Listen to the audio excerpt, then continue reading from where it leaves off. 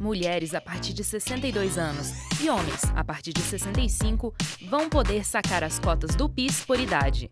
Para isso, é necessário ter sido cadastrado no PIS-PASEP de 1971 a 4 de outubro de 1988, que o empregador tenha contribuído com o fundo e que o trabalhador não tenha sacado os recursos.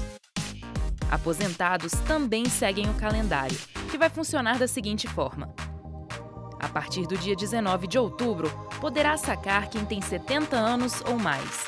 A partir de 17 de novembro, começam os pagamentos dos aposentados.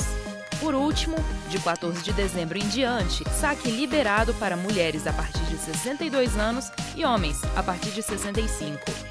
A medida vai beneficiar 6 milhões e 400 mil brasileiros. Vão ser injetados 11 bilhões e 200 milhões de reais na economia. Pagamento vai funcionar da seguinte maneira: até R$ 1.500, o saque pode ser feito nos terminais de autoatendimento, apenas com a senha cidadão. Até R$ 3.000 também é possível sacar nos terminais de autoatendimento, com cartão cidadão e senha.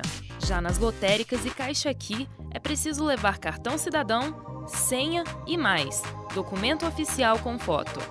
Acima de 3 mil reais, é preciso ir à agência apresentando o documento oficial com foto. Clientes da Caixa vão receber automaticamente, sem necessidade de adesão, em conta corrente ou poupança, conforme o calendário. Para mais informações, acesse o site www.caixa.gov.br barra cotas PIS ou baixe de graça o aplicativo Caixa Trabalhador. Outra opção é ligar para o serviço de atendimento ao cliente 0800 726 0207.